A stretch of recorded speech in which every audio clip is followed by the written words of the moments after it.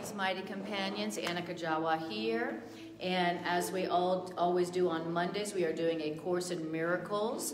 And but first we start with an opening meditation to allow our minds to get quiet and to settle, to allow our minds and hearts to open to the spirit of truth that's in us all.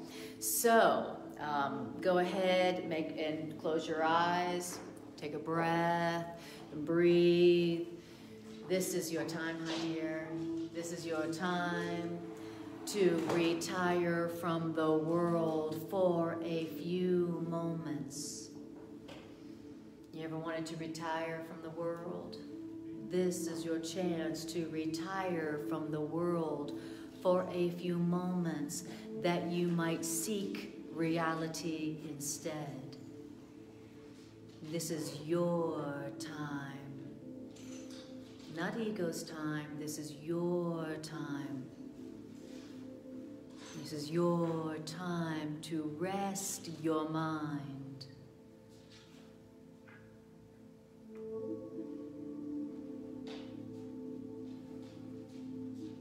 So here we are allowing ourselves to come to rest in the right now. This perfect, precious moment now.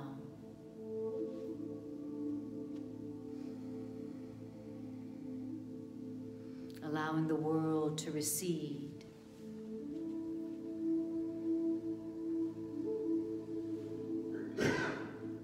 You do not belong to the world. You are God's. The world is not your home. God is. And So let us come home, if only for a few moments, and rest in God.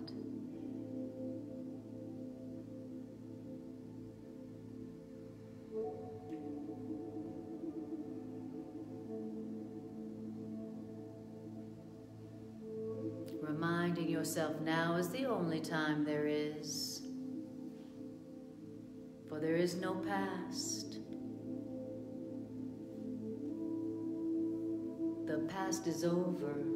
It can touch you not.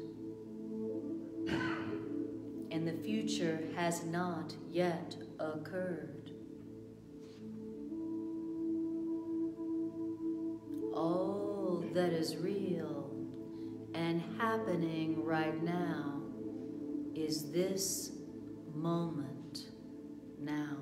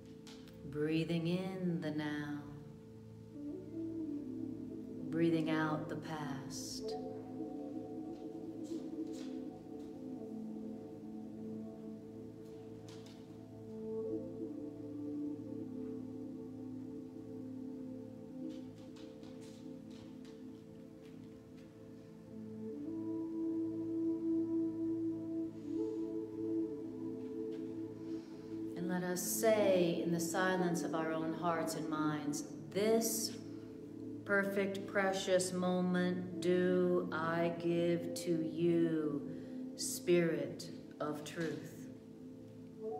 Be you in charge right now.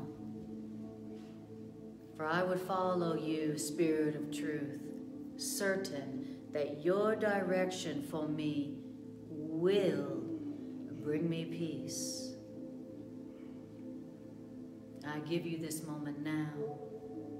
Be you in charge.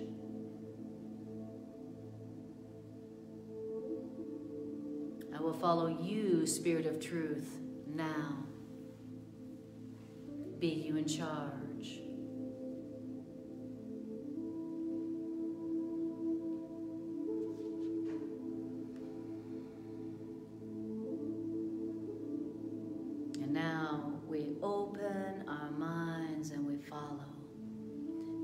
Listen and we follow.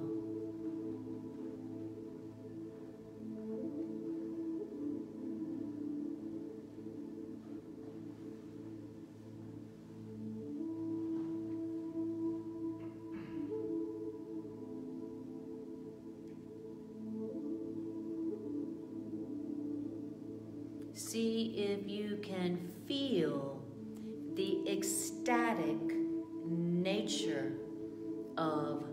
the present moment now.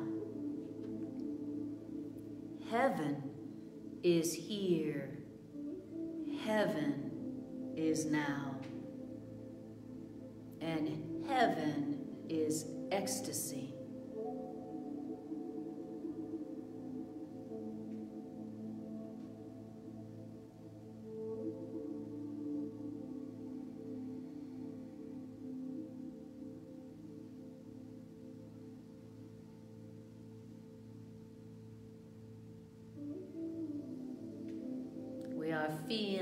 For the holy, satisfying nature of reality, which is all right here, right now, waiting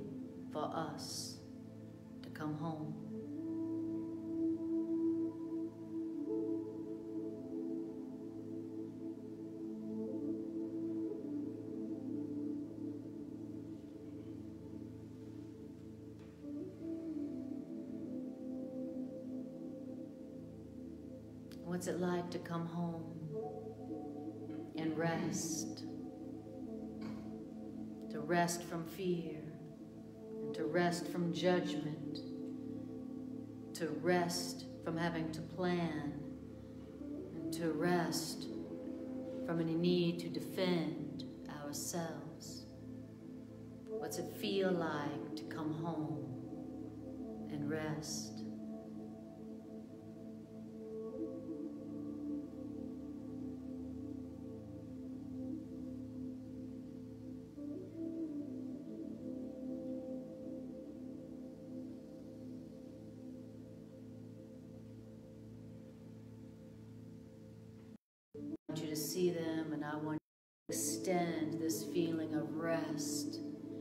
Feeling of peace.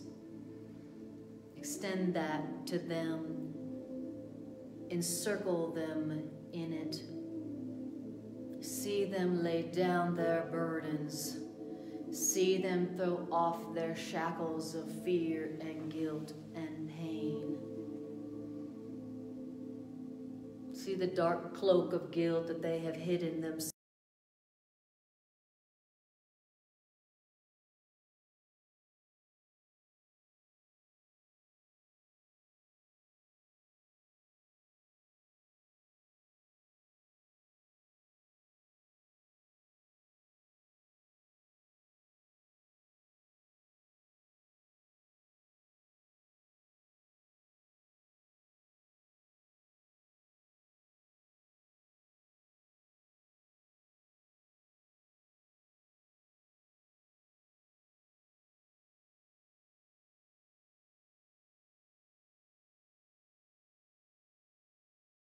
Those ones we release like that, those are our saviors. We release our saviors, and then their strong arms are free to guide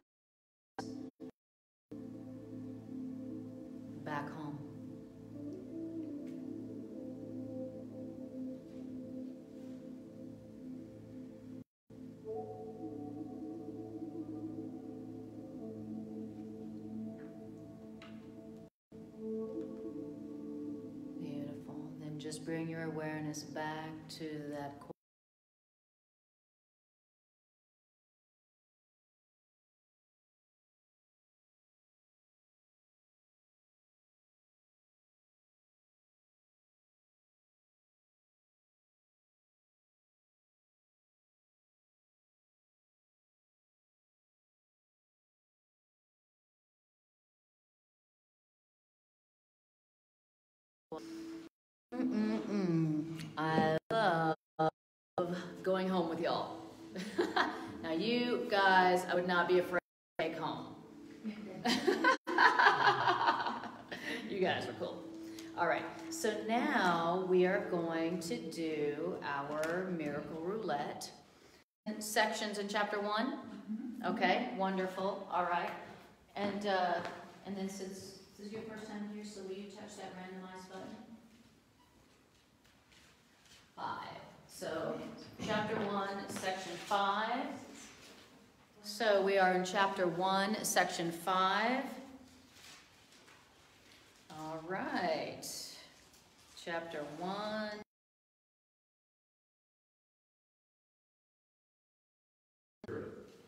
Wholeness and spirit? Mm-hmm. All right. Oops. Wholeness and spirit. Let me just put this in. Okay. Wholeness. Oops. Nope. All right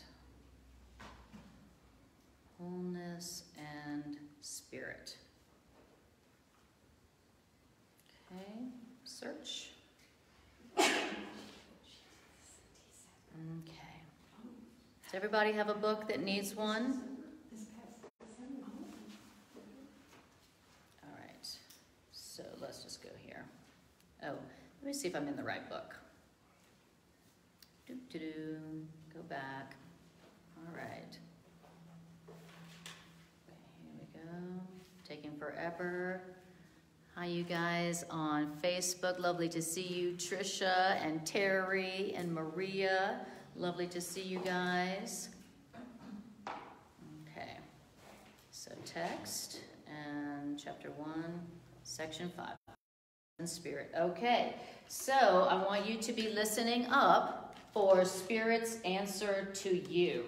Okay, and as you hear, Spirit's very specific to you, then pay attention to it, and if you feel like sharing it, feel free to do so. Okay? So, let us see what Spirit's message is for us tonight. Okay. All right.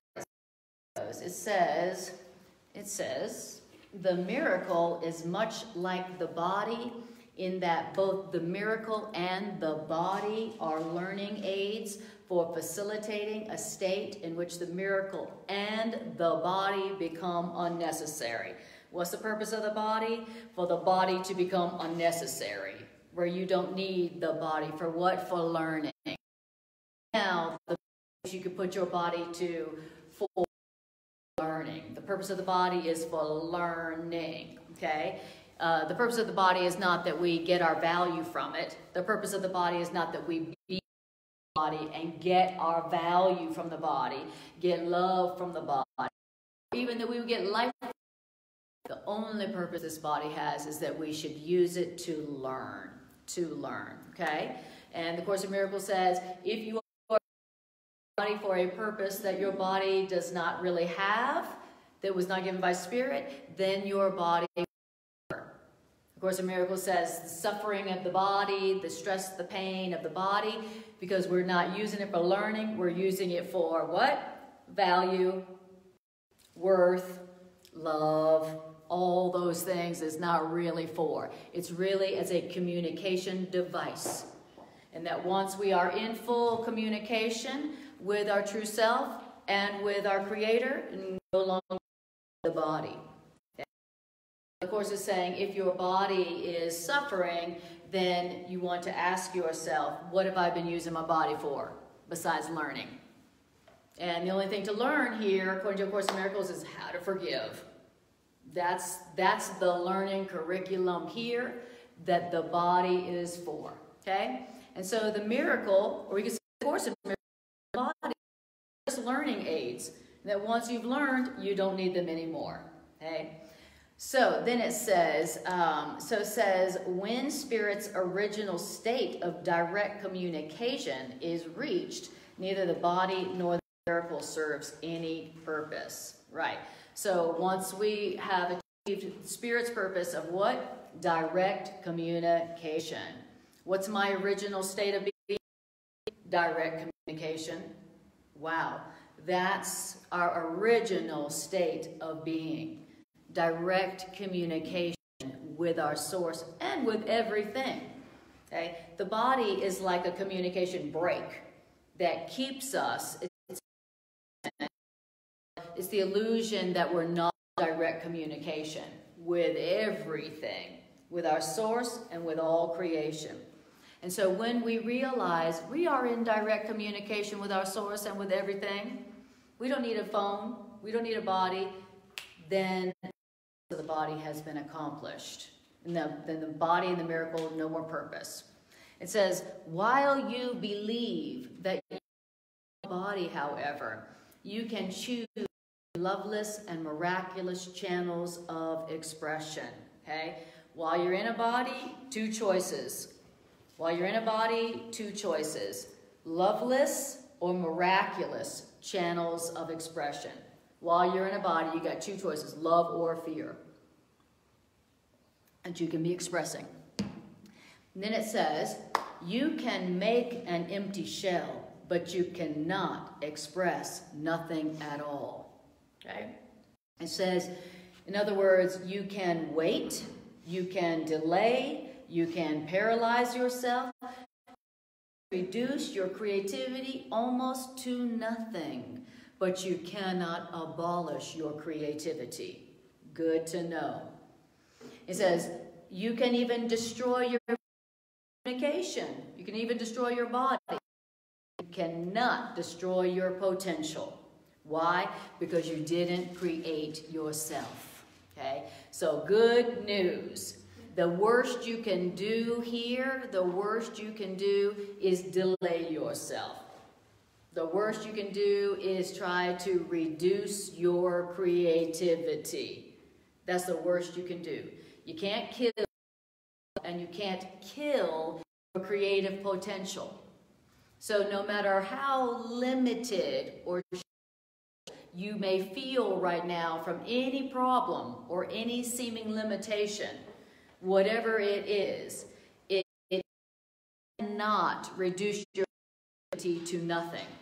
You will always have that creative potential. You will always retain your creative power to do what? To experience what you want, manifest what you want, to have what you want, okay? Yourself as you are. Okay? So that's the thing that we want to be telling ourselves right now about anything that really feels like it's holding us down, anything that feels like it's holding us back. Okay? Um, that seems to or feels like has power over us. Anybody got anything like that right now? Where it seems frightening because it seems like it may have more power over us. It may have more power than we do. Okay? That is, this is the time to remember, hey, nothing can destroy my creative power. Nothing can reduce my creativity to nothing. Nothing can do that. So I will always have creative power. I can, I will always, which is the same as saying I will always have power to decide. I will always have power to choose. And my power to choose and my power to decide is my power. And that is the ultimate power.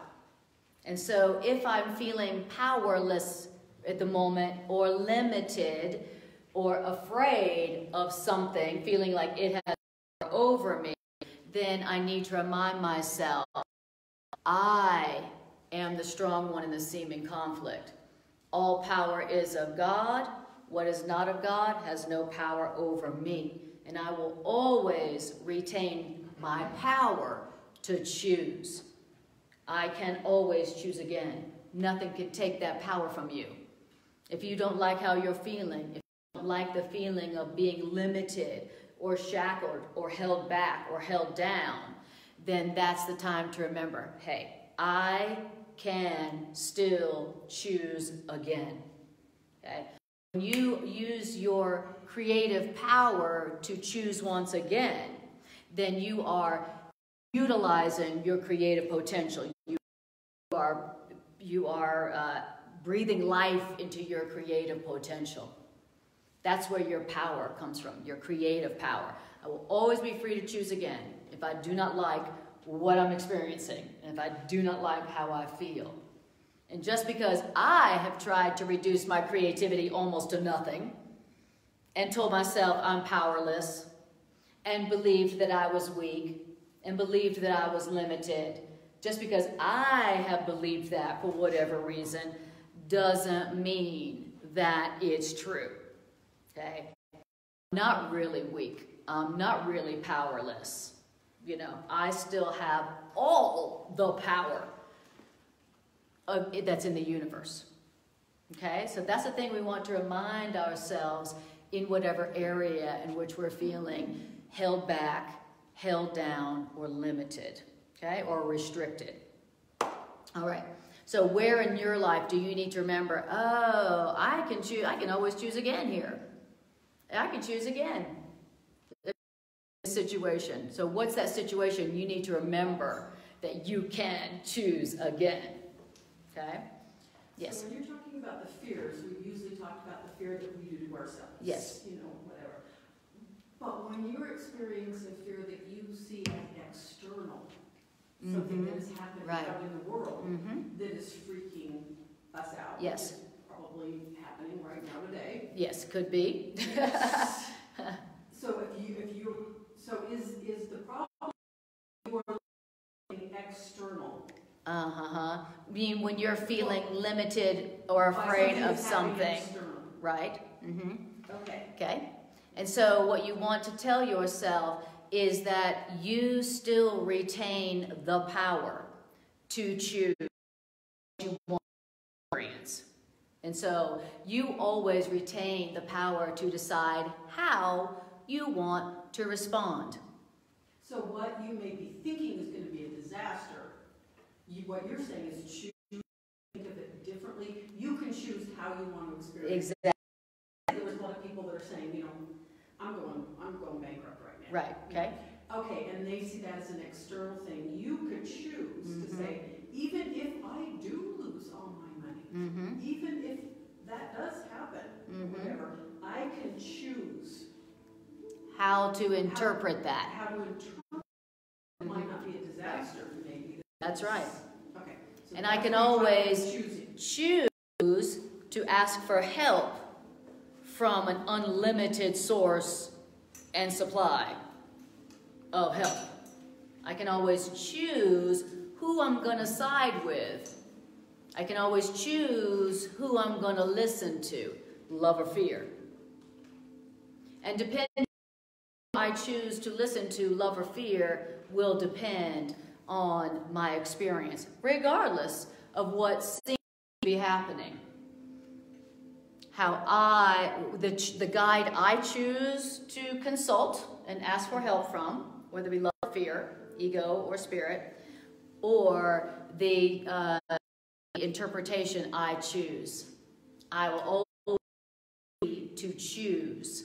It's a set. That's what your creativity is. Choice. Choice. It's your power. It's your creativity. It's your creative power. Oh yeah, I almost forgot I had a choice. Okay. Mm-hmm. And I try to think of it too, because, you know, you I'm not the money I have in the bank. That's not who I am. It's never there, it's external, it was, it was uh, external anyway. True story. It's material again. I mean, it's hard to do, but yet I go, well, hey, That's right. flow If- with it, go with it, and ask That's right. help, and go, don't ask for, can I please save Mm. money? It's not about that, it's about how you're, Right. How you're interpreting it. it's just, it's just a way of Exactly. not being afraid of Exactly. The Course in Miracles says that you're afraid, your fear of something indicates that you believe it has more power than you. And so, um, and if you believe something that has more power than you, especially if it's something that didn't come from God, something that died and something that changes, is something that didn't come from God, like the form that didn't come from God because it changes, ends, and dies.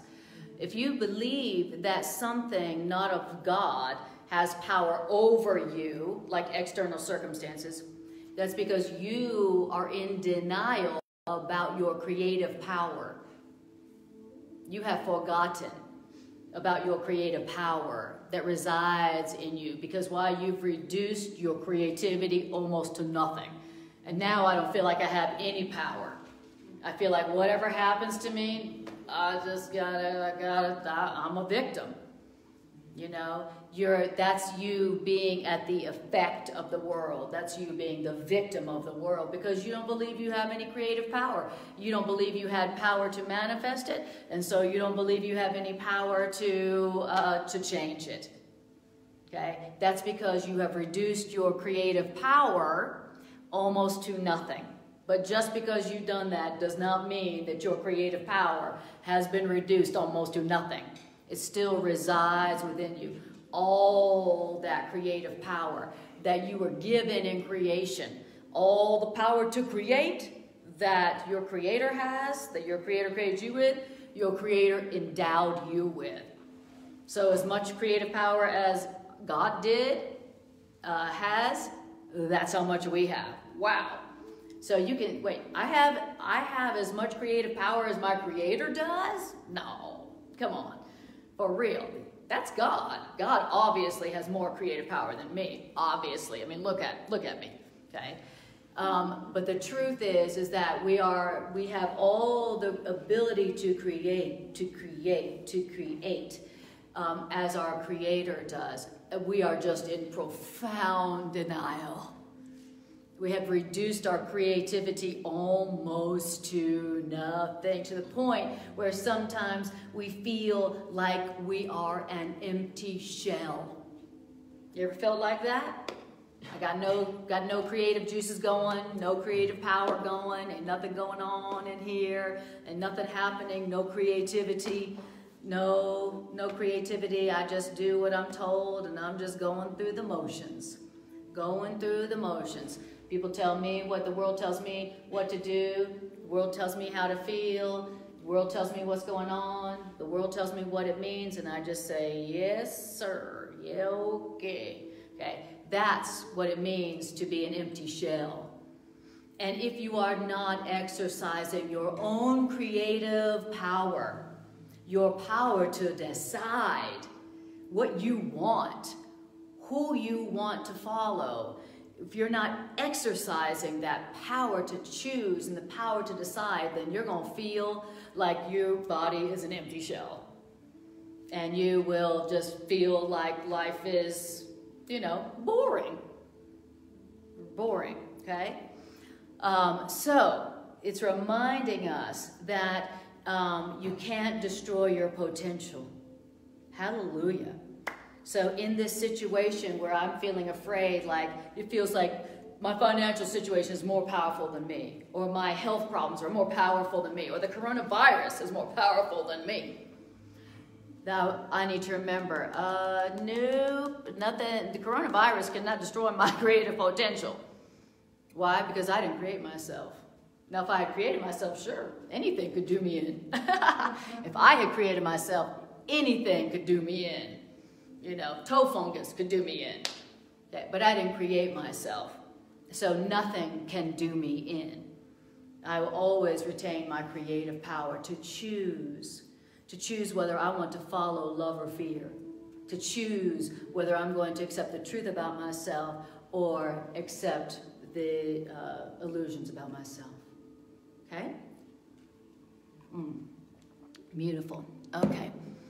All right. And you guys, hi guys. Hi Bridget and Jerry. Um, if you have any questions, you guys can uh, type it in all caps and hopefully that'll catch my eye. Lovely to see you guys here. All right, that was paragraph one. Okay. All right, that was, that's not bad for one paragraph. We just realized we had all the power in the universe and we're just in denial about it. Yes, I'm, I have all the power in the universe and I am in denial. That, yes, and my name is Anna. All right. I am pretending like I have no power, and that's why I'm sad and scared right now. All right. So the they, so I was just saying. So the Course in Miracles says when you're afraid of something, like let's take for instance the coronavirus.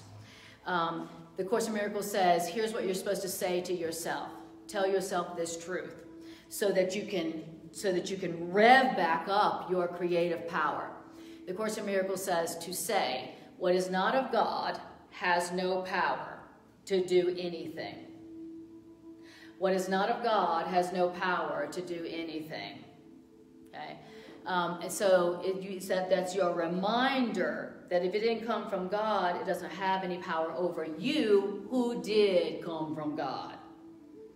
And so that's our way to remind ourselves of our true power that we do have, that we're the one with the power, not the things that didn't come from God because they don't last and they're not happy. Okay? So let us let us all say that about the coronavirus, shall we? this corona the coronavirus did not come from God, and so the coronavirus has no power to do anything. But my choice does. My power to decide does. All right. So, it says, uh, paragraph two, the basic decision of the miracle minded, that's us, is not to wait on time any longer than is necessary. Okay? So the miracle worker, those who want miracles, those who want peace, those who want healing, their basic decision is, uh, oh, you're saying I could have heaven and peace right now? I don't have to wait? Really? Okay, great. N now. That's what we're supposed to be doing. Not waiting on time any longer for something that we could have right now, something that's true right now. That's what we're supposed to be deciding. Oh, all power in earth and heaven are given me right now, and I don't have to wait, I don't have to go back to school or anything like that. Great, I'll take it now. I'm not going to wait on time for what you say is already mine. And it says, the reason do, we don't want to wait on time any longer than is necessary is because time can waste as well as be wasted. Dang. Okay, I mean, we can all we can all relate to the feeling of time wasting us. It's saying time wastes us. So we don't want to wait on time any longer because time, not only can you waste time, but it can waste uh, the body, as we've seen, okay? So we want, so we want to, to stop waiting to be happy. We want to stop waiting to have peace. We want to stop waiting to experience love and joy and abundance that is life. That is reality. That is the gift of our Creator. No exception, no conditions, no limits. Now. Okay? So that's the decision that miracle minded people are making. Uh, oh, oh uh, I don't have to wait till I go back to school to be happy. Oh, I don't have to wait for the my right person to be happy, to experience love. Oh, I don't have to wait for that new job to have financial abundance. Oh, I don't have to wait till I can afford a new doctor and some new medicine to be healthy. I would like to have, I choose it now. Okay? That's what the miracle minded are deciding to do. That's what we're learning how to do. Stop waiting and accept it now. Okay? So, what is it that you have been uh, uh, uh, putting off and delaying? Okay? Is it happiness? Is it love? Is it abundance? It, what is it? Is it freedom? What is it that you've been putting off, thinking that you have to wait on time for? Well, I can't have love till I meet my soulmate. Okay. I sure hope that happens soon for you then.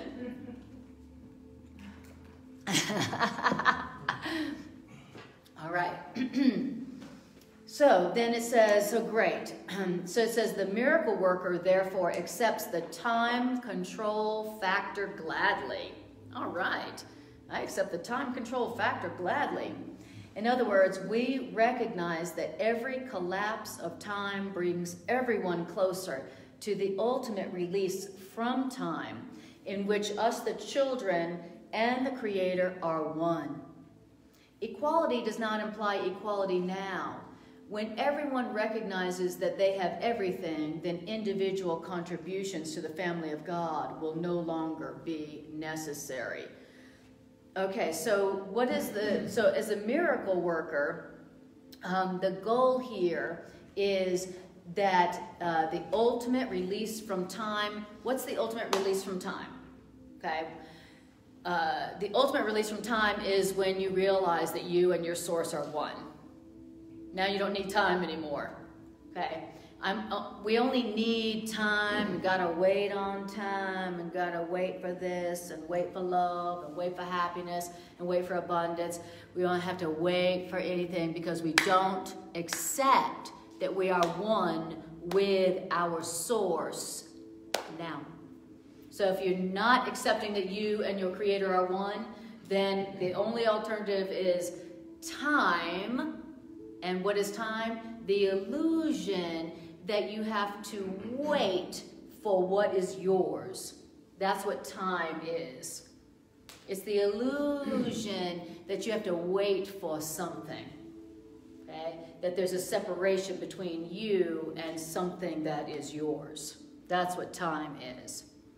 But so, do you want to save yourself time relative to the happiness, the abundance, the creativity, the joy, the love?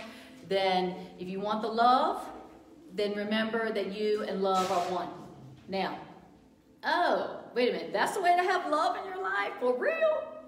I thought it was like you had to get on, you had to wait till you found the right dating site. Or wait till you find the right person. Do you want to know that you are a holy, abundant child of God? Do you want to know your abundance now? Then recognize that you and the source of your abundance are one right now. I am one right now with the source of my abundance. I don't need to wait for it. You only need to wait for it when you don't know you're one with it. So the Course in Miracles says, remember, having and being are one. So whatever you don't think you have is what you don't think you are. What you think you don't have enough of right now is what you don't think you are right now. So instead of, I'm to wait on this, I'm to try to get this, I'm to wait on this, I'm to wait on that, I'm to make a plan in the future for that, and I'll make a plan in the future for love, and to make a plan in the future for abundance, I'm to make a plan in the future for happiness.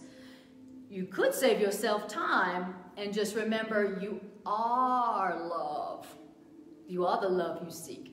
You are the abundance you seek. You are the happiness you seek.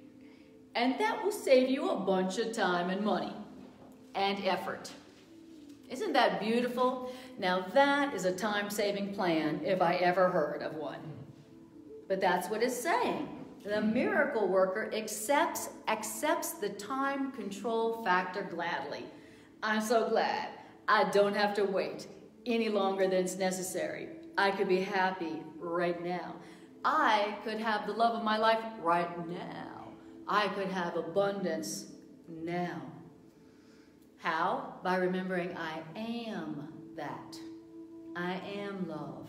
I am abundance. I am happiness. Why? Because that's how our Creator created us. Okay? Wealth created me wealthy. Love created me loving and lovable. Joy created me joyous. Peace created me peaceful. Power created me powerful. So that's really the way to experience all those attributes that we have been trying to experience uh, by things in time, by our plans in time. Here's my plan for wealth in time. Here's my time plan for happiness. Here's my time plan for love. Yes? So I infer that related to this idea that you just shared that I am the abundance that I want is the idea that in time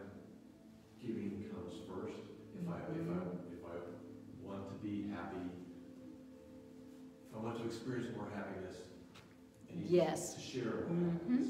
And I can only share more happiness if I choose to feel happy in the first place. Yes, absolutely. Yes. And so, and so it's two, two ways to it. I can either remember, oh, I am love, so I don't need to wait till I go find some. Or the Course in Miracles says ha, you, the giving comes first in time, so I could, oh, I want some love, let me give some. And that also guarantees that I can experience it now without having to wait. And if you are feeling any kind of dissatisfaction in life right now, it's because you're waiting. you've, you've done put something off to the future. Okay? I don't have it now because I've put it off into the future. You know, I'm, I, I, I'm not allowing myself to connect with the source of it right now.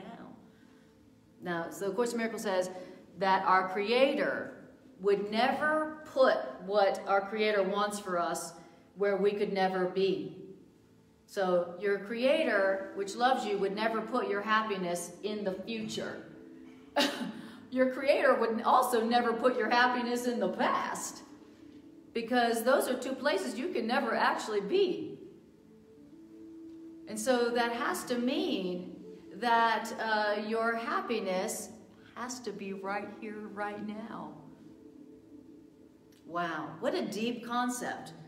And so you can see what it's saying about the miracle worker, the miracle minded, those who really want to be happy, accept that you don't need to wait on time. They accept the, the uh, time control factor gladly of the miracle.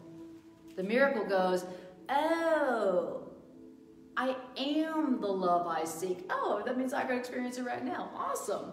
Okay? That's what a miracle is. I have it now. I am it now.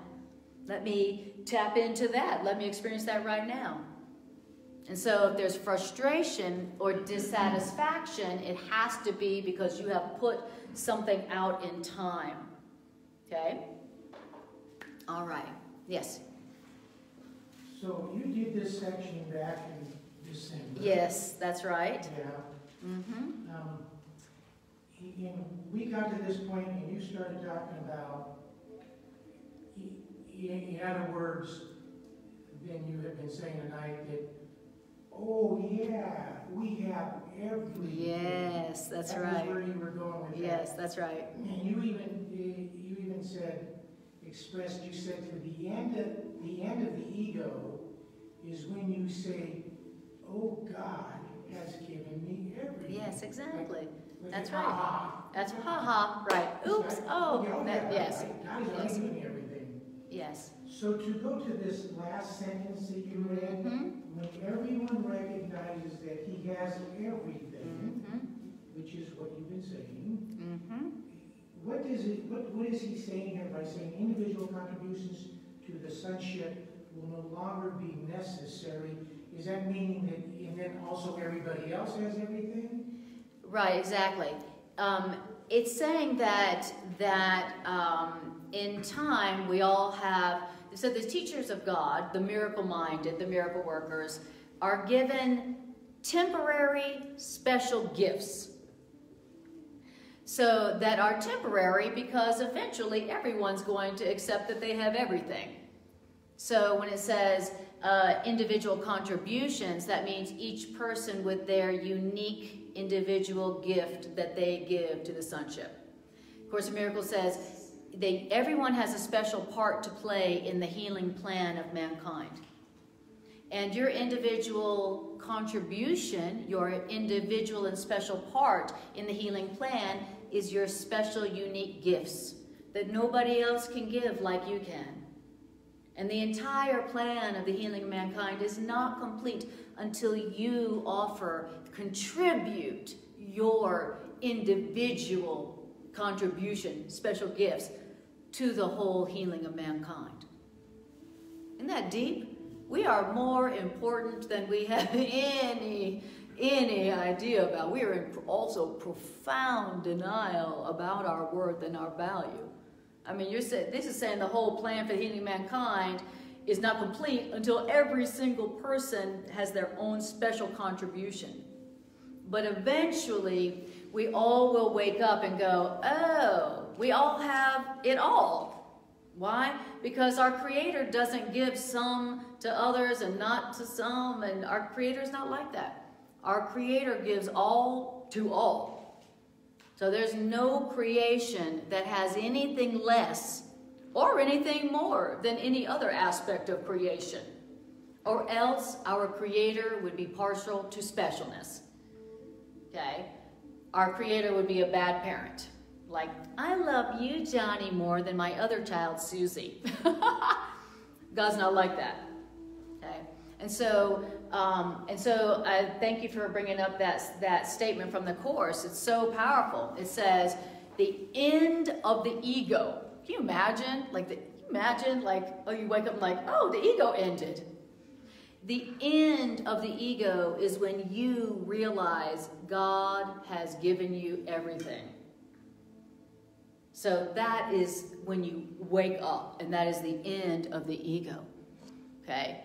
Um, but until then, until then, we have to do our special part, and everybody has a special part to play, uh, contributing their special gifts. Thank you for reminding me. Yeah, um, thank you for elaborating on it. So when everybody recognizes that he has everything, individual contributions will no longer be necessary to even the basic example of the panhandler, the sonic horn, to be able to know that he has everything. Yes, right. And and to the extent to where, like the prayer box at My life Church, Mm-hmm. going to pray for someone, then you're saying maybe they're less than something, that they're needing something. Yes. They already have everything. I mean, absolutely. The best prayer you can pray for somebody is, uh, you know, I, I, I will remember for you that God has given you everything. I'll remember that for you. And since we're one, that means I can remember for you, just like you can remember for me. So let me remember for you that God has given you everything. As I pass the panhandler by, so happy God has given this person everything. I will remember for you. Yes, I will remember for you. God has given you everything. Okay? That's the best.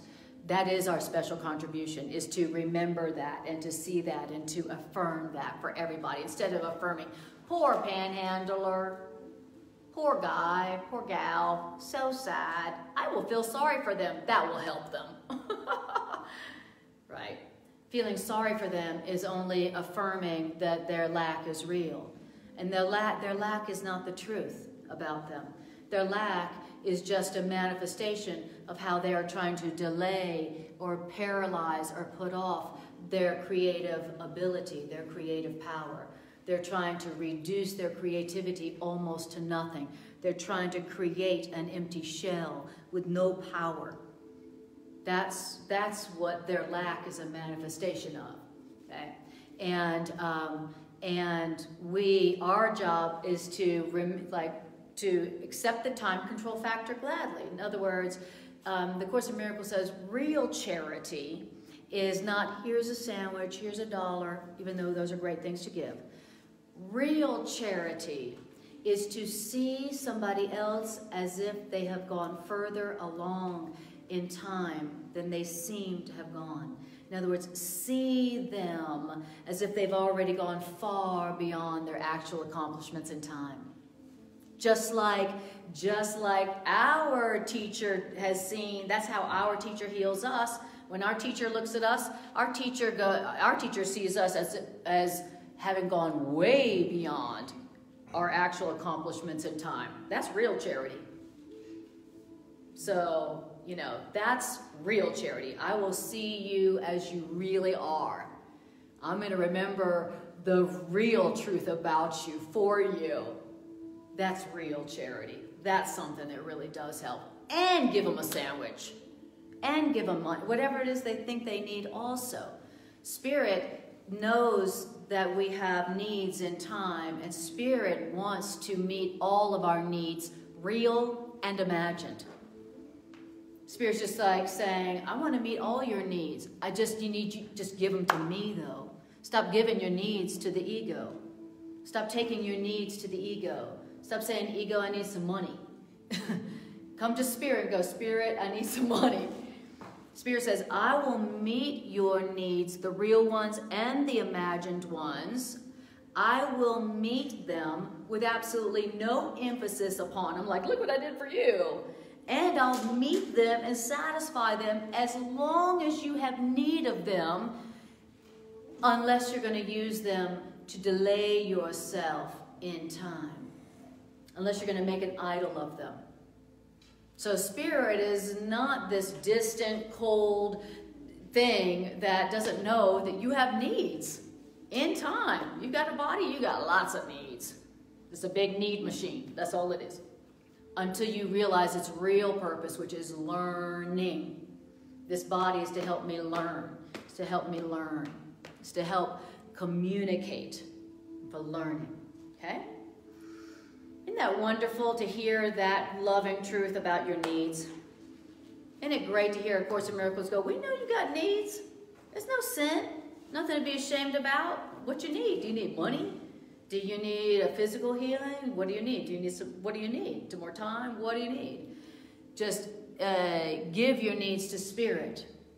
You know, who can use your needs to remind you that you don't really have those needs. That's what Spirit does with your needs. Isn't that great? Spirit goes, You have a need for money? Great. I'll give it to me, and then I will show you you don't even need money.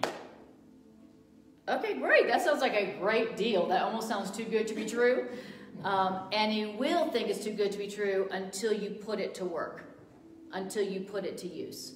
All these ideas will seem too good to be true until you use them. The Course in Miracles says that's the only time that you'll realize, oh my God, A Course in Miracles really is true. That's the only time you'll really get that, is when you actually use it.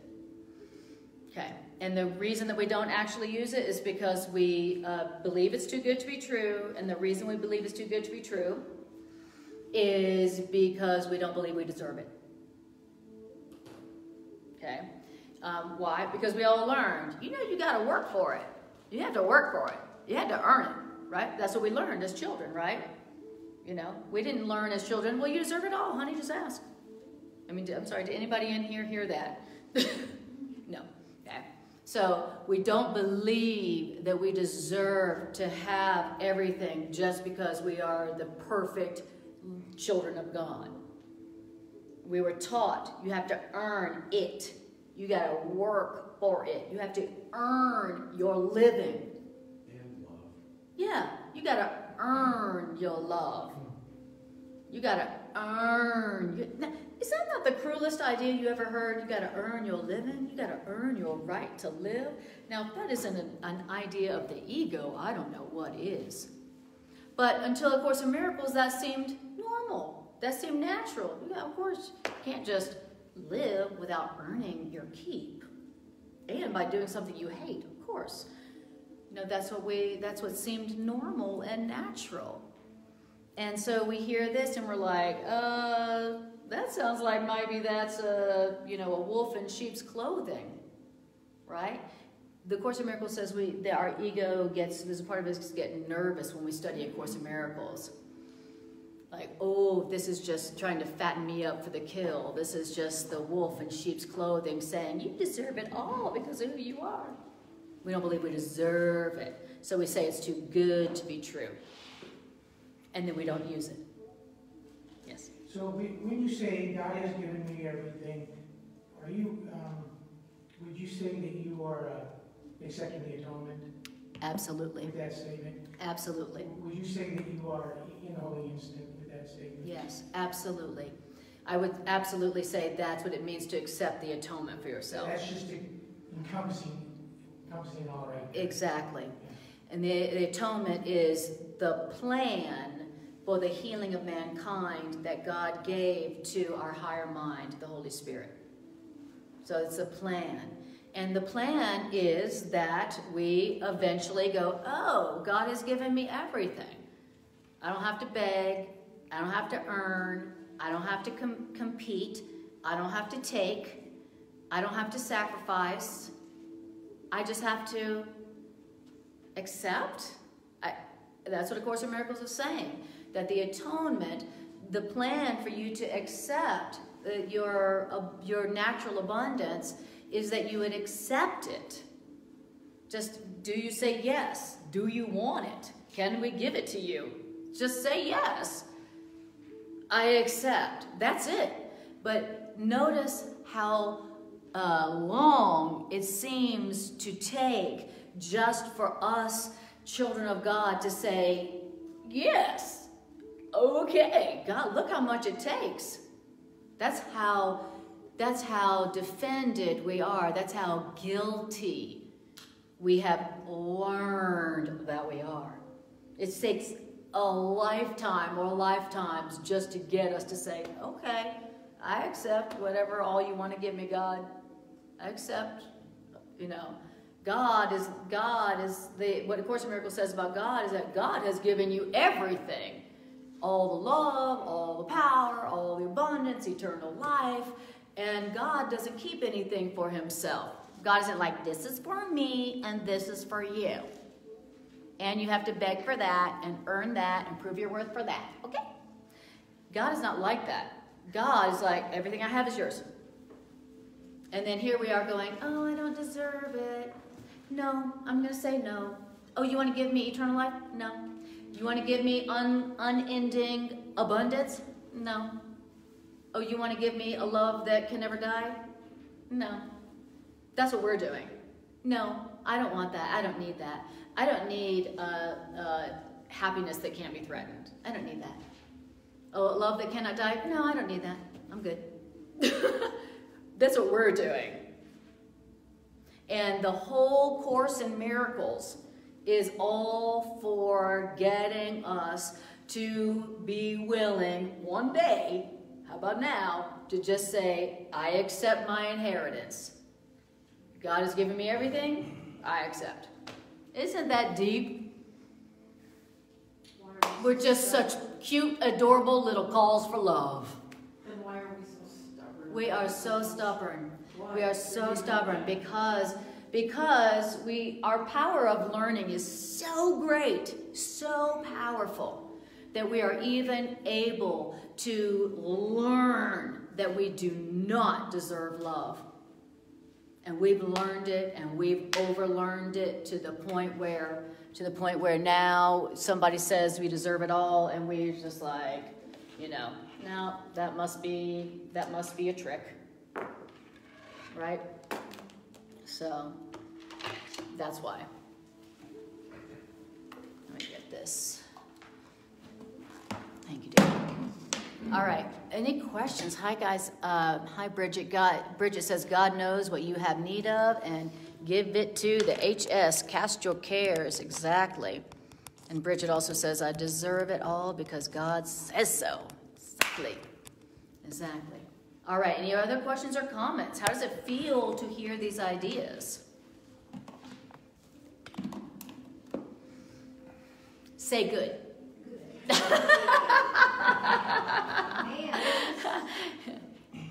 do what you like and love. Yes, Like, exactly.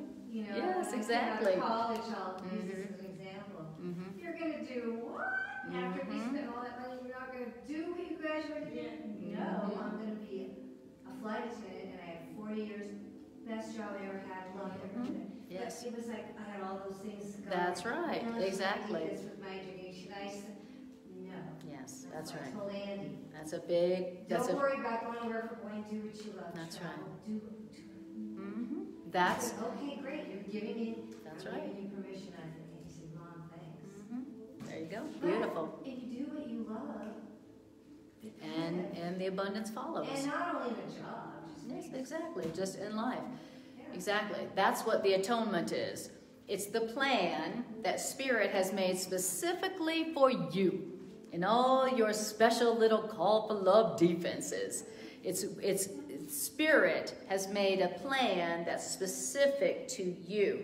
Your experiences, all that you've learned about how and why you don't deserve it all right now, and Spirit makes this plan that's tailor made for your experiences, your calls for love, your fears, your skills, your strengths, your talents, uh, that's specifically tailor made to teach you and to uh, remind you that you deserve it all right now. God's given you everything, and do you want it right now? That's the that's what A Course in Miracles calls the atonement. Wow. Okay, great. So, and Tony says, after 25 years of studying with you, fear no longer lives here. Amen. Right on, Tony. Okay, beautiful. Okay, so here we go. So, paragraph number two. It says, When the atonement, which is this plan for the healing of man, has been completed, all talents will be shared by all the children of God. That's because God is not partial. What does that mean? That means all of God's children have God's total love. And and all of God's gifts are freely given to everyone alike. So that's what we've been saying that that God has given every everyone everything. Okay. And once we all accept that, then um, we won't have special parts. We just have special parts right now because we haven't accepted that we all have it all. Okay? And then there's a quote from the Bible. It says, Except ye become as little children, means that unless you fully recognize your complete dependence on God, you cannot know the real power of yourself and your true relationship with the Creator. I love that phrase. Okay. So here we are talking about, you know, all your needs and your wants. And you don't have to wait on time anymore because God has given you everything already. But until you give all your needs to God, until you give all your needs to God, all your needs and your wants, until you recognize your complete dependence on God, you won't know the real power that you have in your relationship, your real relationship with God, your source. So until you go to God with everything, you won't know the real power that's in your relationship with your source. Okay? Where's my power? Is my power in my money? No. Is my power in my body? No. Is my power in somebody else liking me? No. My real power is in my relationship with my source. Okay? That's the source of my, it's my real source of power. That's where my power comes from. I experience the real power I have because I take my needs to God. I am dependent on God for meeting my needs, just like my child is dependent on me for its needs. Okay? And if I am feeling powerless, if I'm feeling afraid because I'm feeling powerless compared to this situation, it's because I am not casting my cares upon God. I'm not taking my needs to my Creator. I'm giving them to my ego. I'm taking them, giving them to me to figure out. Okay? So, wherever it is that you are feeling a lack of power right now, wherever that is, is it a health condition? Is it a financial condition? Is it a relationship condition? Is it a global pandemic condition? Whatever that power, powerlessness feeling is, that fear, that's where you need, that's where you are not aware of your real power because you are not experiencing your true relationship with your Creator. Isn't that powerful? So, isn't that ironic that my true experience of ultimate power comes from my dependence? Interesting. We don't like, we typically, we don't like the word dependence. I don't want to be dependent. Don't call me dependent. Don't, don't call me codependent. Okay? You're saying that when you are dependent on yourself, you can't experience anything but helplessness and powerlessness and fear and anxiety. Okay? But when you are dependent on your source for your needs, for your peace, for your happiness, for your fulfillment, then you will experience your true power. You'll realize, I have it all. Wow, good to remember. Except ye become as little children, you'll never know your true power. Okay? So wherever you are experiencing powerlessness and fear right now, that's in your that's the place in your life where you want to take whatever needs you think you have, take them from the ego, take them from yourself, and cast your cares upon God. Cast them. Here you go, God. Here's my needs. Okay? All right. Okay, beautiful. And then it says, it says, um, the specialness of God's children does not stem from exclusion, but from inclusion. What does that mean? That means all of my brothers are special. And so, if any of us believe we are deprived of anything, our perception becomes distorted. Okay? So, distorted perception, fear, pain, suffering, where does that come from? It comes when you believe you are deprived of anything. Why am I upset? I believe I'm deprived of something I want and need but don't have. Okay? That's where suffering and fear really comes from. Good to know. It says, whenever you think you're deprived of something you want and need, because you're not taking your needs to God, your perception is going to be distorted. You're not going to be, see, be seeing the ecstatic, abundant nature of reality. That's what it means to say your perception is distorted. You're going to be looking out and going, lack, lack, not enough, lack, lack, lack, not enough. Yes? Um, now, I'm going to ask you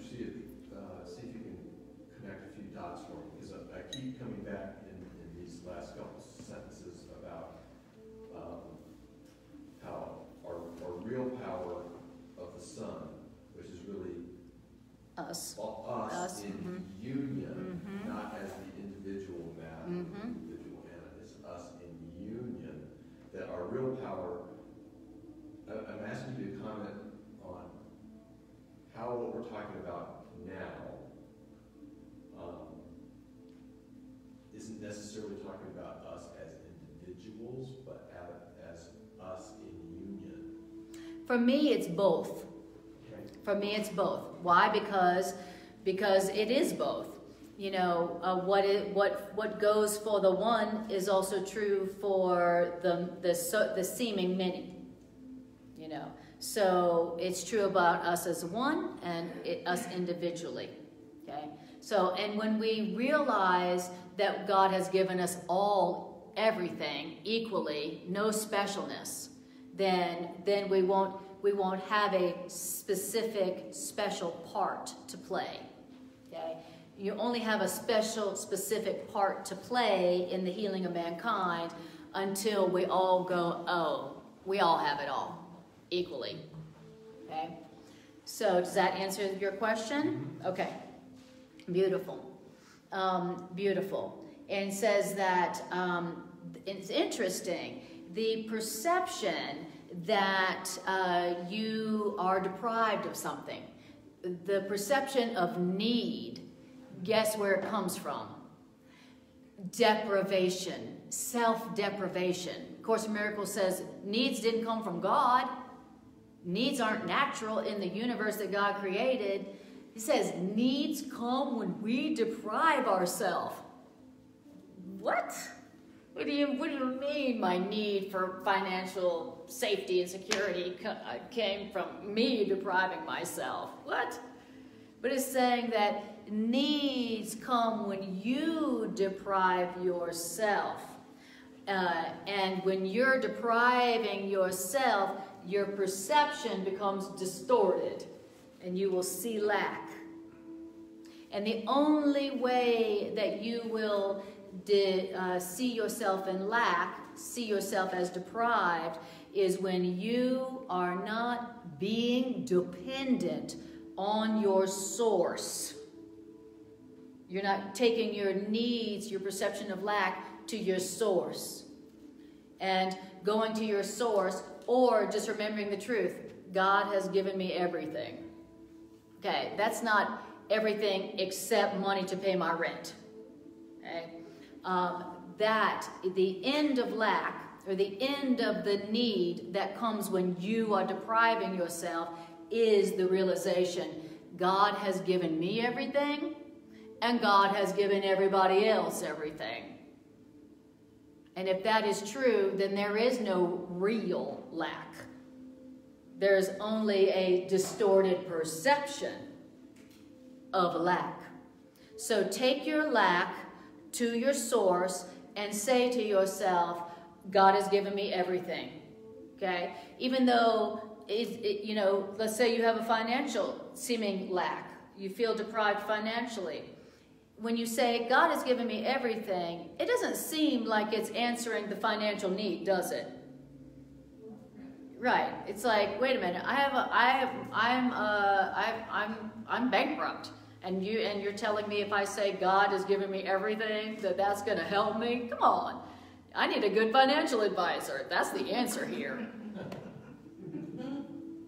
Is saying that lack is a distorted perception where you are depriving yourself by not taking your need, your illusion of need, to your source, who has given you everything and who will remind you again that it has given you everything. So, when we say God has given me everything, what it does is it corrects our distorted perception of deprivation. If God's given me everything, then this experience of deprivation, not enough, can't be true. Like, they can't both be true. wow. I love hearing this. This is, um, and it says, when you have a perception of a deprivation, when you when you have an experience that you are deprived of something, I wish I had no, I don't have enough love, I'm deprived of it. I don't have enough money, I'm deprived of it. I don't have enough time, I'm deprived of it. I don't have enough energy, I'm deprived of it. Anytime you perceive yourself deprived of anything, you it says that it says the whole family of God is impaired in its relationships. Oh, I'm sorry, mankind. I'm sorry for impairing all of y'all in your relationships with my perception of deprivation. Sorry. That's how powerful our minds are. Every time you see yourself as deprived of something, when you're not, you are impairing the relationships of everybody. Why? Because you're demonstrating, you're teaching deprivation. You're teaching deprivation. And guess what deprivation does to relationships? Anyone care to hazard a guess from experience? What happens in your relationships when you're feeling deprived? Anyone? happiness. They fall apart. Mm-hmm. That's right.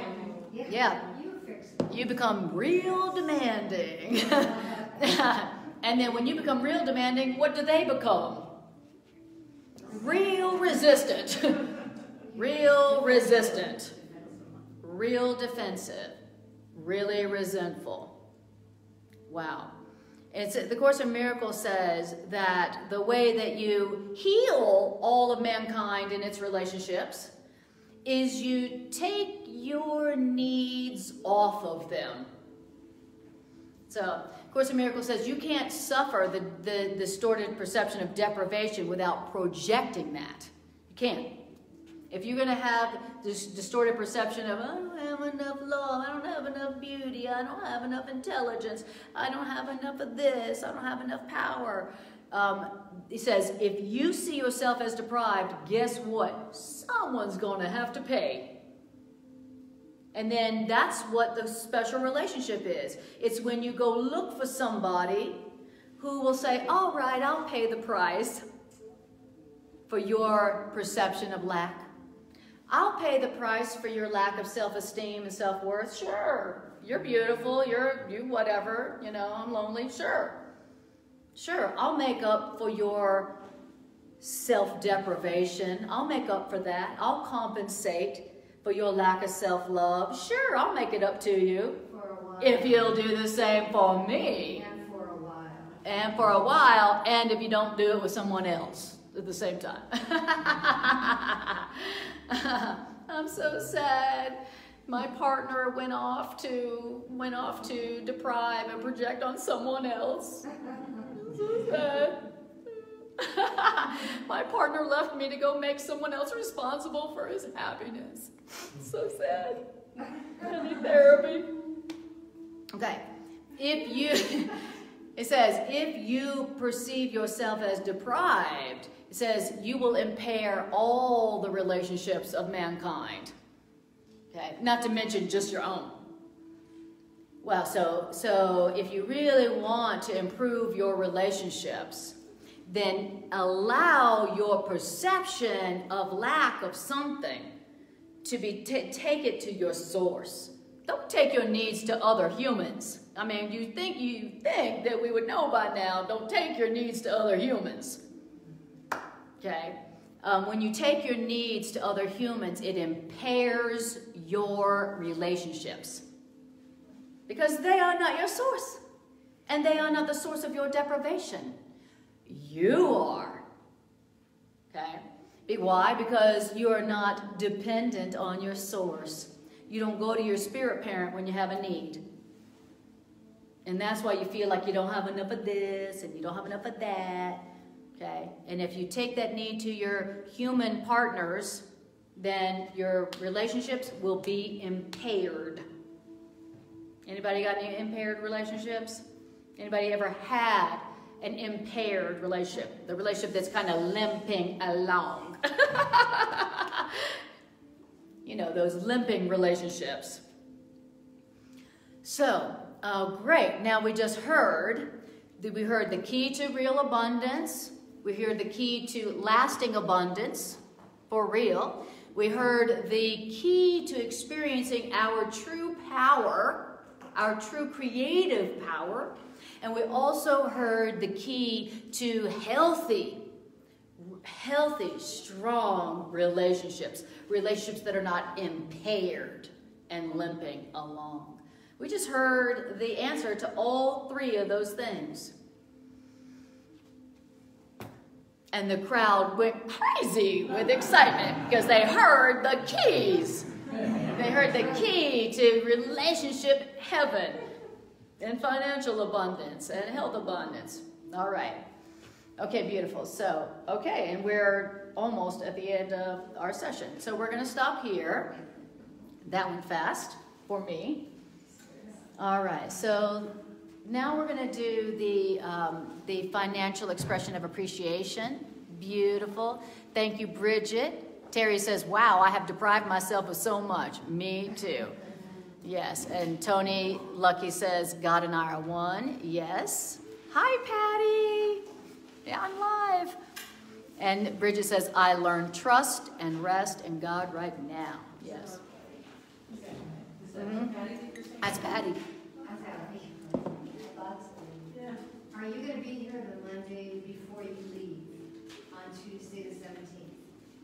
Uh, yes. Yes, I am. Next Monday.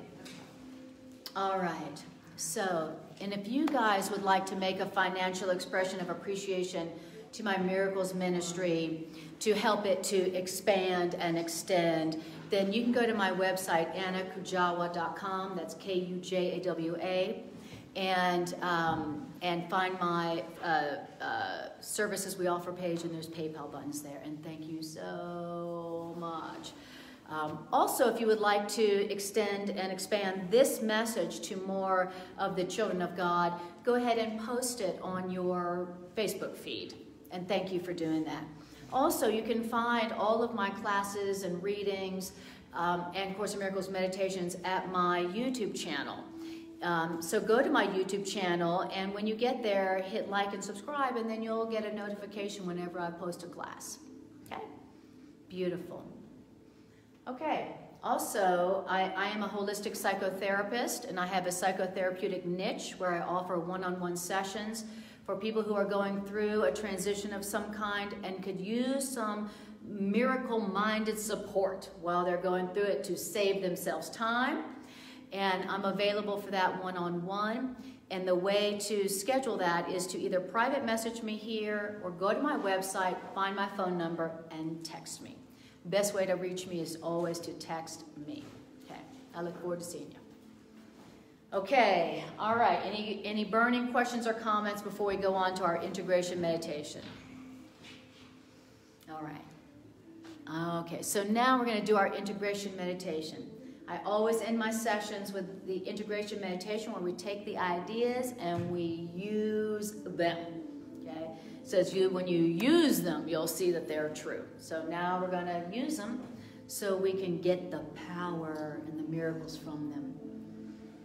So take a deep breath and just breathe and feel.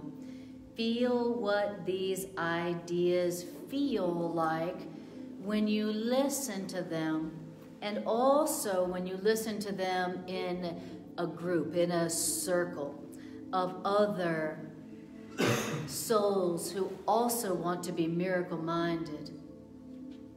How does that feel?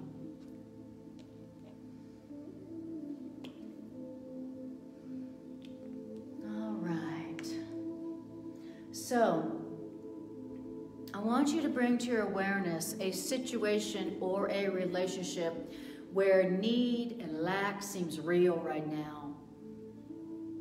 Where you feel deprived somehow of something you want but don't think you have. Like love or time or money or power or happiness, whatever it is And bringing this situation or relationship to your awareness.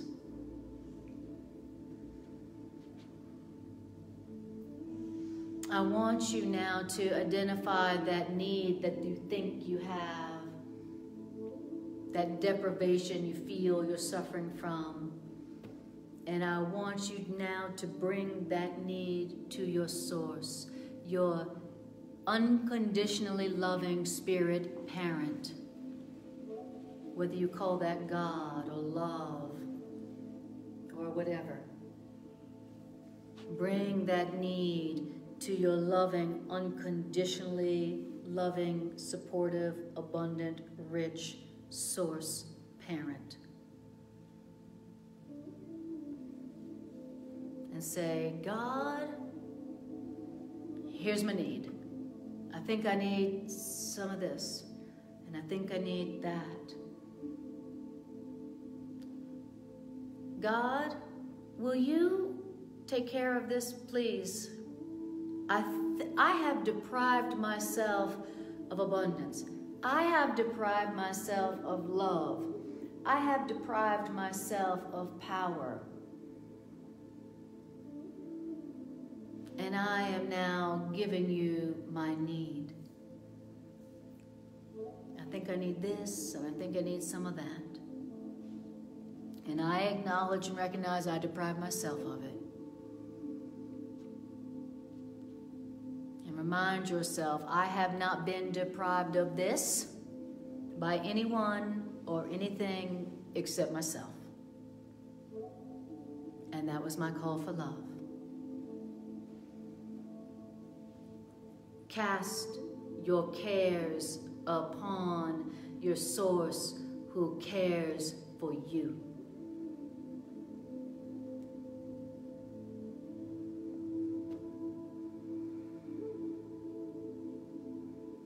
Don't be embarrassed by the needs you have made for yourself.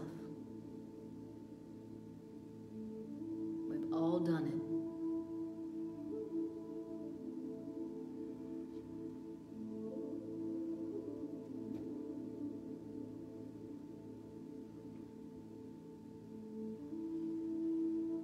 And tell yourself, for my happiness and my abundance and my safety and security and my joy in this situation, I am completely dependent on God. I am completely dependent on my source. Because God is my source of everything that I want and need.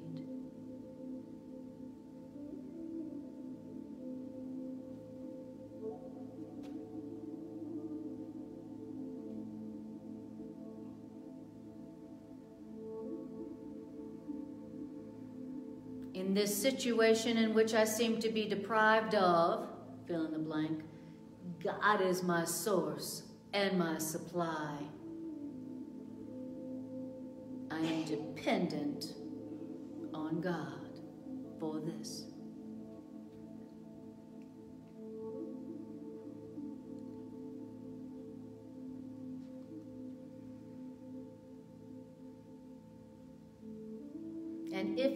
A person that you had projected your need and projected your deprivation onto in this situation, if there is a relationship that you impaired by projecting your deprivation onto them, take it back.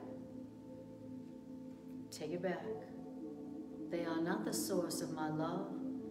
They are not the source of my security.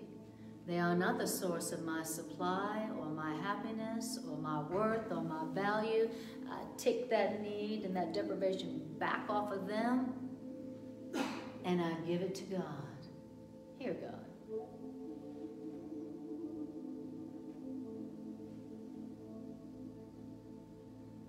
God, I want you to show me my worth and my value. God, I want you to show me my real supply, my real wealth. God, I want you to show me my true security, my true safety.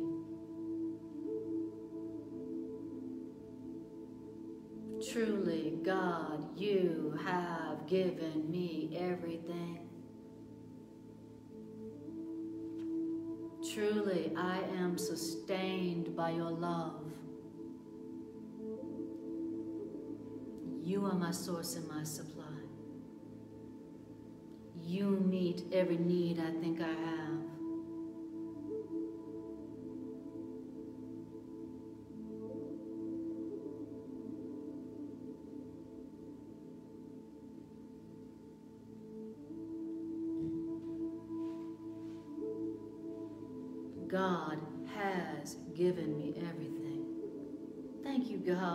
The everything you have given me.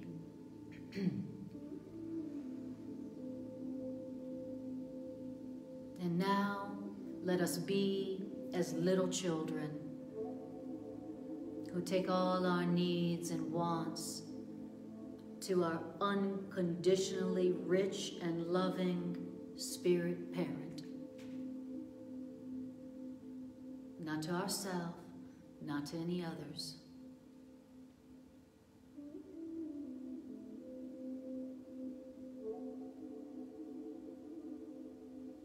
This is our true power, our true wealth, our true safety, and our true security. And to that we say, Thank you, God. Thank you, God. Thank you, God. And to that we say, Amen. And so take a breath and bring your awareness back to the room. Awesome. Good job. Give it up for yourselves for coming out to hear some loving ideas about yourselves.